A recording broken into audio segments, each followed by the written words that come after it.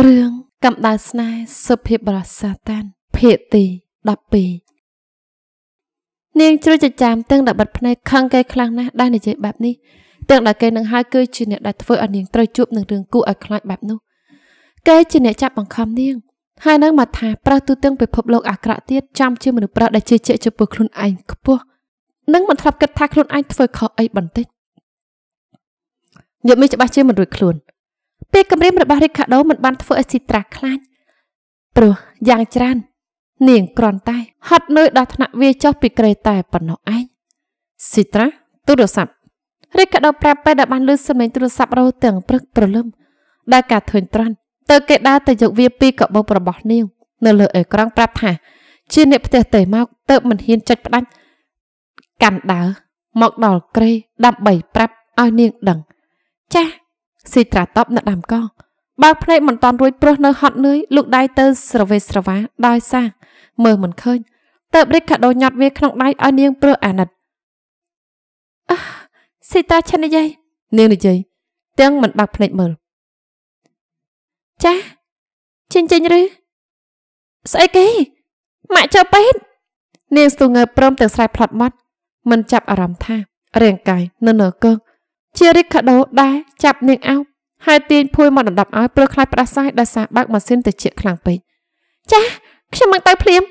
ពេលដាក់ទូរស័ព្ទចុះស៊ីត្រាក៏ងាកមកមើលមុខគេដើម្បីសុំជំនួយ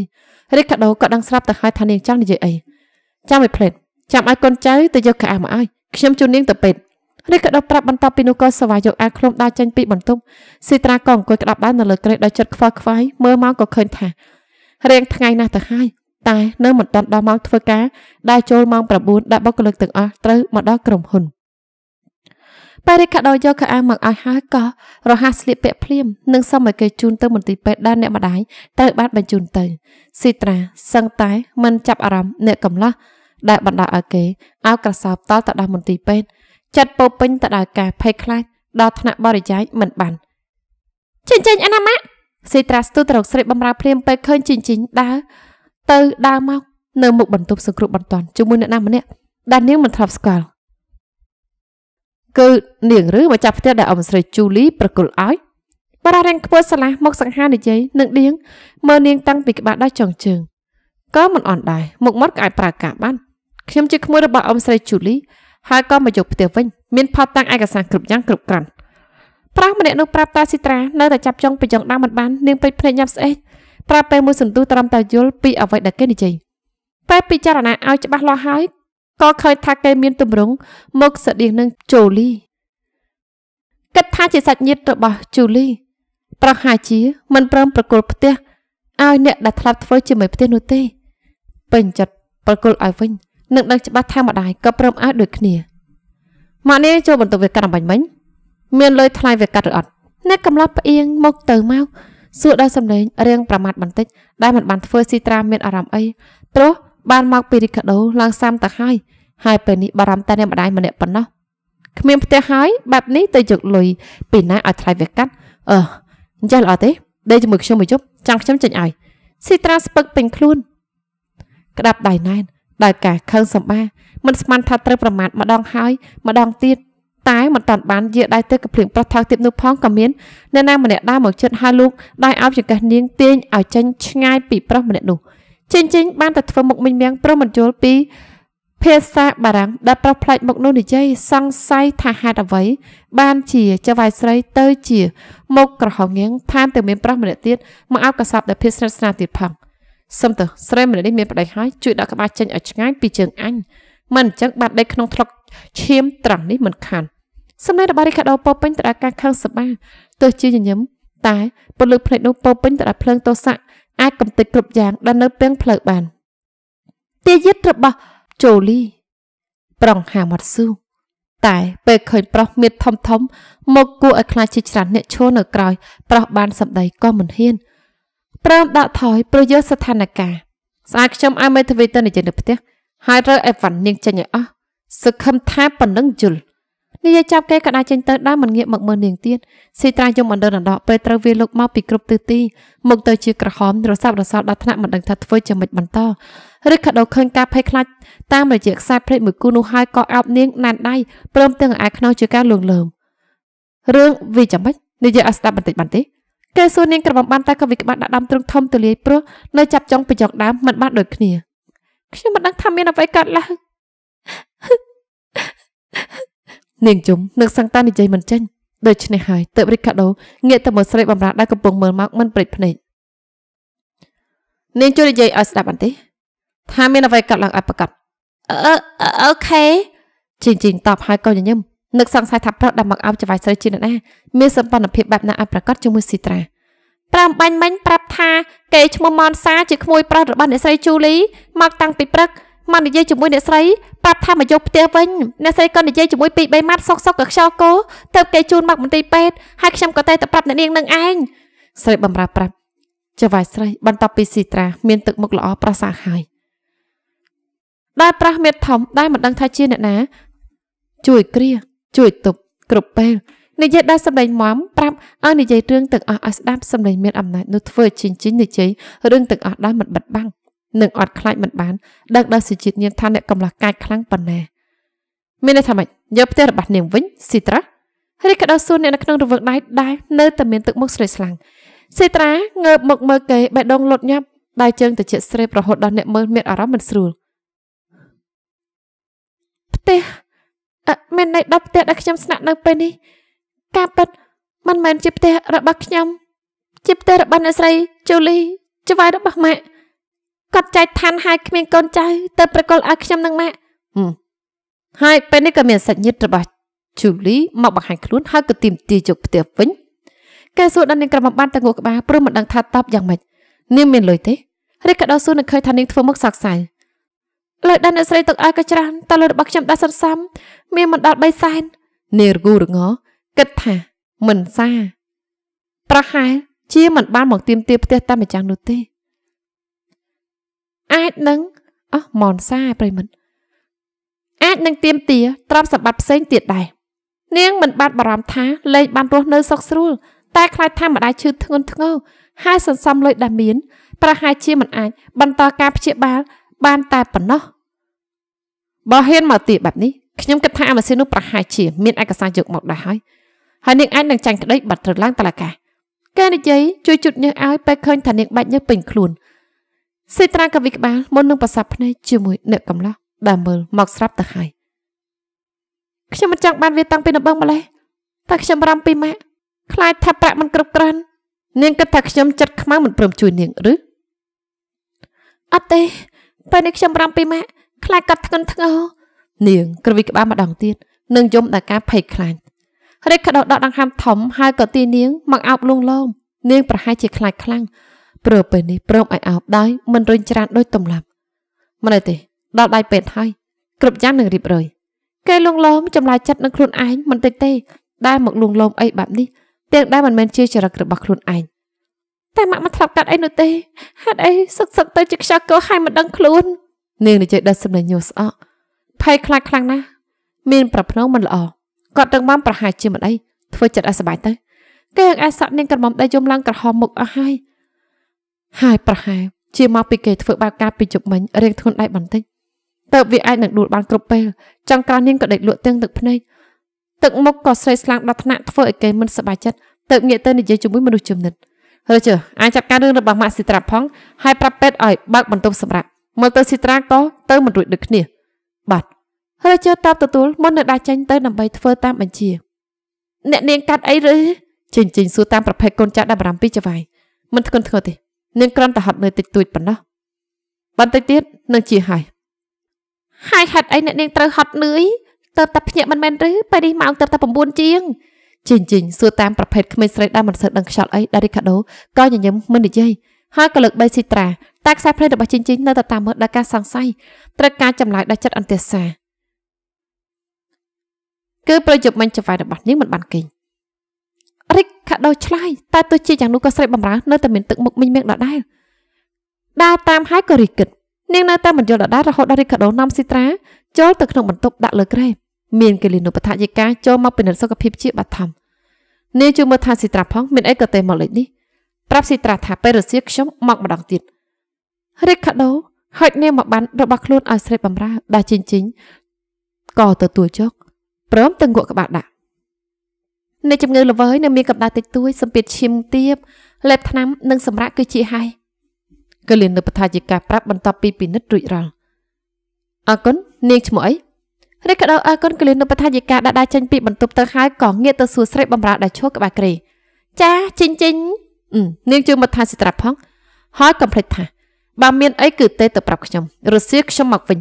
ចា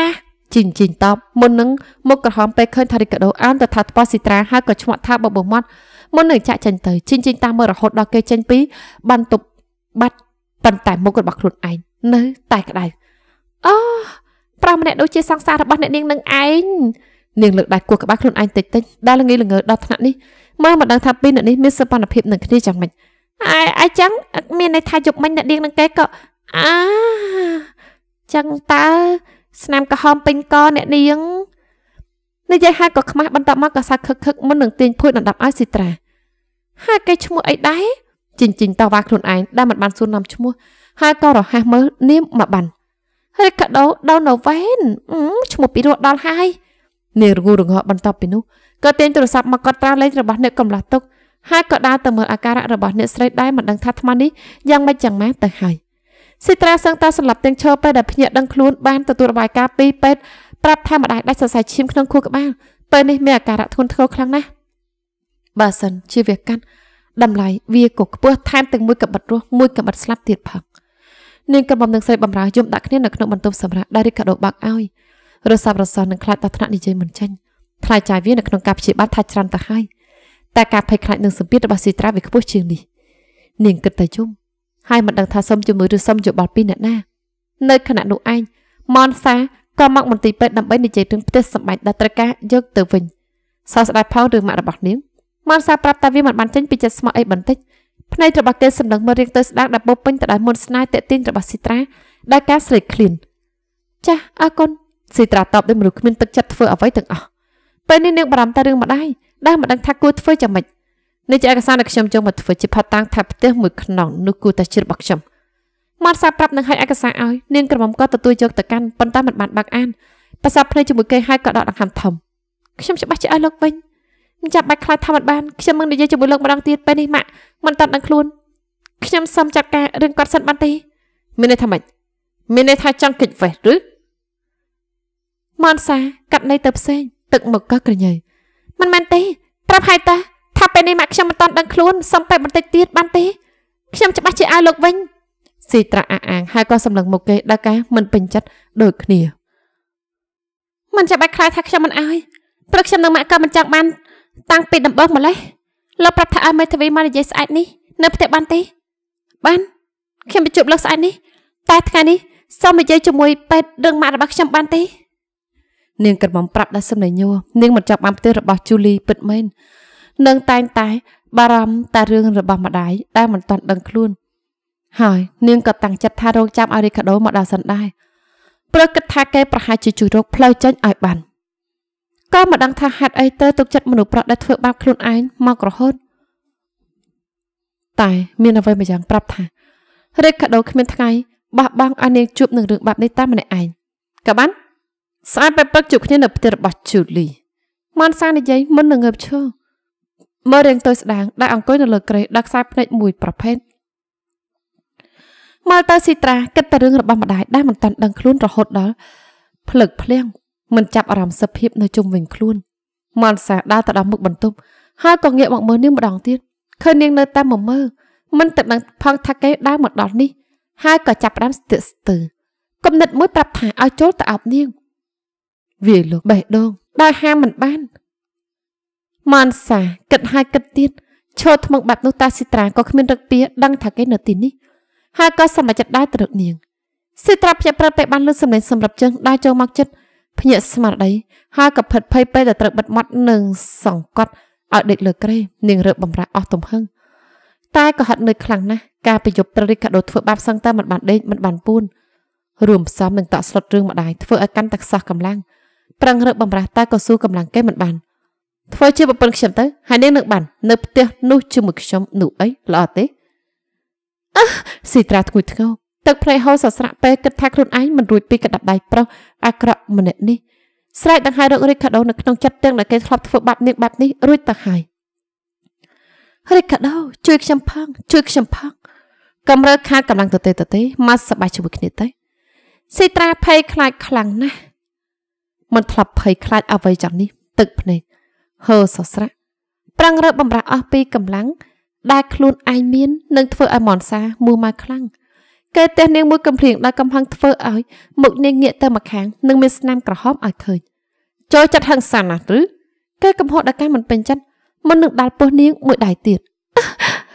លើកនេះស៊ីត្រាកោងខ្លួនដូចបង្កងត្រូវភ្លើងឈឺចុកដល់ថ្នាក់ស្រក់ទឹកភ្នែកប្រាំងស្រែកតែគ្មានសម្លេងកម្រាស់ខ្លួនបានតែបន្តិច នឹងឈឺចាប់ដល់ថ្នាក់និយាយមិនចេញល្អចូលចិត្តឈឺឈឺបែបនេះចាំផ្កប់ឲ្យដល់ចិត្តមនសាកំហុសដល់កំហឹងដល់សម្លៀកបំពាក់ចេញពីខ្លួនតាំងចិត្តចាប់រំលោភនាងនឹងថតរូបភាពដើម្បី blackmail តែពេលកំពុងស្រាក់ខៅនោះឯងក៏ត្រូវដួលខ្ពកដោយកម្លាំងតតពីខាងក្រោយគេដួលទៅលើឥដ្ឋហើយក៏ត្រូវតតចំពោះមួយទំហឹងដល់ថ្នាក់ស្រែធ្ងួយធ្ងរឈឺចាប់មិនចាញ់ស៊ីត្រាដាក់ដេក រួញខ្លួនក្រញ៉ាំងនៅលើគ្រែអញចង់ធ្វើអីអ្នកដែលចូលមកតាន់ពេលវេលាគឺរីកាដូនឹងខឹងខ្លាំងដល់ថ្នាក់មុខក្រហម អង្គរៈក៏ចូលមកចាប់លើកមនសាយួរម្នាក់មកខាង13ឲ្យចាវាយប្រកែនកណ្ដាប់ដៃកណ្ដាប់ជើងតាមសទ្ធាអ្នកកំឡោះមិននិយាយអីហើយក៏ដាល់មនសាមួយដៃហើយមួយដៃទៀតដើម្បីកំចាយកំហឹងស៊ីត្រាឃើញហើយក៏ចង់ហាមាត់ហាម តែគ្មានកម្លាំងកំហាយសូម្បីតែហាមាត់